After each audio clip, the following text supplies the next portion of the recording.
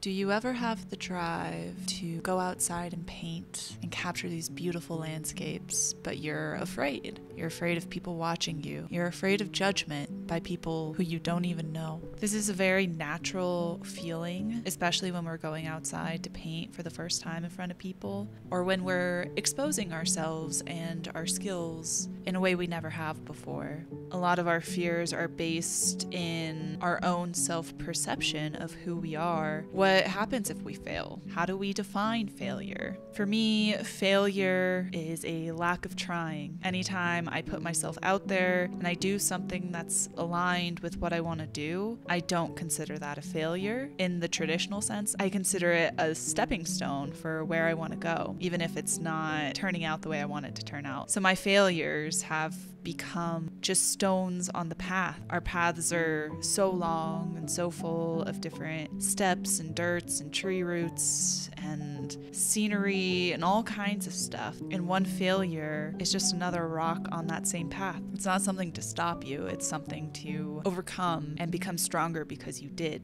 Failure is when I stand in one place and I see the rock and I stop myself because I see the rock. So if I ever see myself not paint something the way I want to paint it, or not be as skilled as someone else, or if something doesn't turn out the way I want it to turn out, that failure, that's only a final failure if I let that stop me. And to relate it to painting outside, if someone comes up to me and tells me my painting is bad or my technique is off or I'm using the wrong colors, which people have actually come up to me and said that to me before. I've had people comment that they don't like my style or they think I should be using different colors or they're giving me unsolicited advice. And I kind of just let it flow off of me because within criticism, there can be actual room for improvement. So I take what they say, I say, thank you for your opinion opinion. Thank you for your perspective. But I don't change what I'm doing in the moment. I sit on it and I consider what they're saying. And if what they're saying is something that would actually benefit me and my art, I'm like, okay, that criticism was warranted. And I actually listen to it and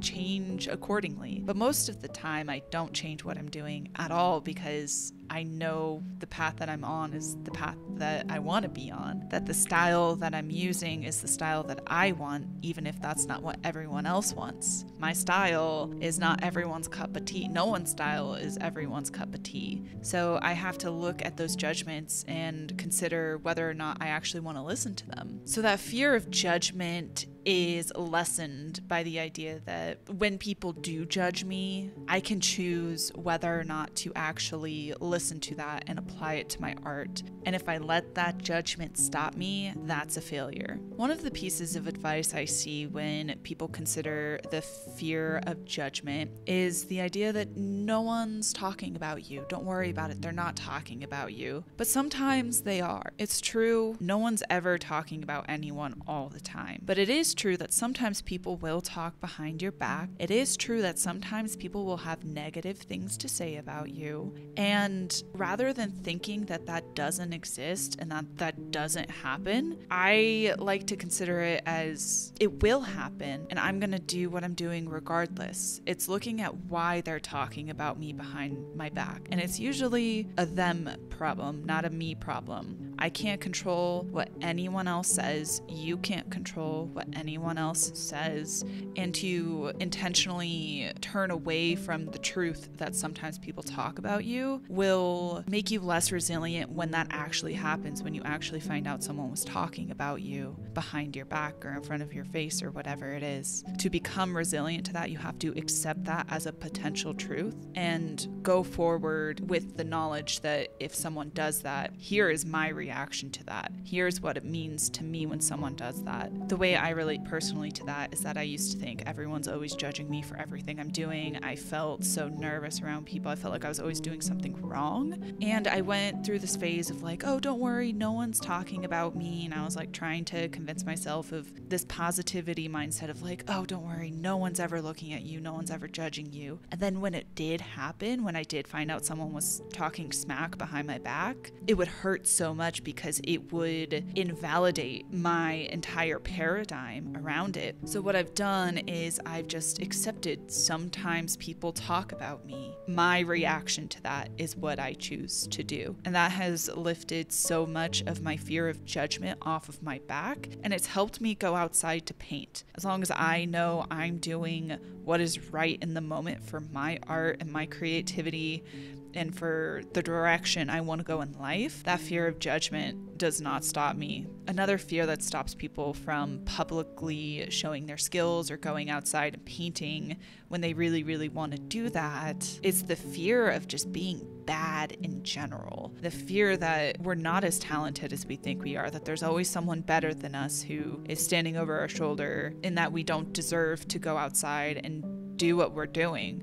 The honest truth is that there is no barrier to going outside with a sketchbook or a canvas and creating what's in front of you. There is no rational barrier to you becoming that person. Whether you have no experience, one year experience, 10 years of experience, there is no rubric saying, hey, you can't go outside and draw if you don't have two years of experience. It's not a job application. It is your free time in what you want to do. And as long as you're not intruding on other people's space or you're not breaking the rules of that nature area, you are allowed to be there and you are allowed to sit with nature the way that you want want to sit with nature. So if you want to go outside and paint, this is your permission. If you're still afraid, research a spot that's not as much in the way of other people, it's more private, and build up to these more popular areas. And to be honest, about 95% of the people that come up to me have nothing but positive energy to give me actually creates conversations with them where a lot of the people that come up to me are artists themselves